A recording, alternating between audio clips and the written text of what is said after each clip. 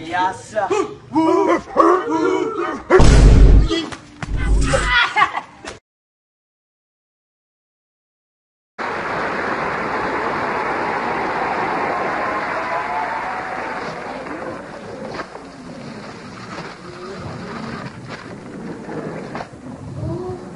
Tô de olho no senhor.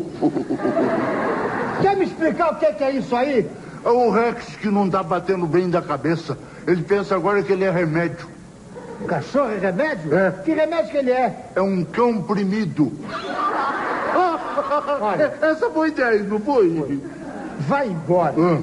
Porque quando eu fico nervoso, você não me conhece. Você. Não, tá engano. É um engano seu. Eu conheço o senhor, senhor. Você não me conhece. Tanto conheço que o senhor já emprestou pra mim a sua Ferrari pra eu dar umas voltas. Que Ferrari? Nunca tive Ferrari na vida, rapaz. Não? Eu não. Ah, já sei, você emprestou pra mim. Foi a- aquela lancha no Guarujá pra eu dar uns passeios. Nunca tive lancha. Não? Não. Ah, é. O senhor me emprestou, lembra daquela moto que o senhor me emprestou pra eu passear lá em Santos? Eu tenho juízo, eu não tenho moto. Não? Não. Um momentinho só. O senhor não é o Carlos Alberto de Nóbrega, Há muitos anos. casado com a loirona bonitona chamada Andréia? Eu mesmo. Tá vendo? Eu tinha certeza que eu já saí com alguma coisa do senhor. Vai embora, vai. Vai embora. Assim?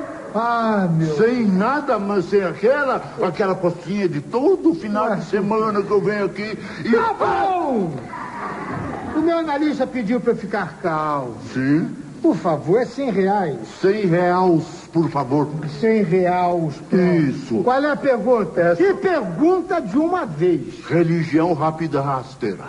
Ah, Por que, que o Moisés fez uma arca tão grande? ah, isso é fácil. Pra salvar todos os bichos que tinham aqui na terra. Errou feio. Ah, Por que que o Moisés fez uma arca tão grande? Não foi Moisés que fez a arca, foi o Noé.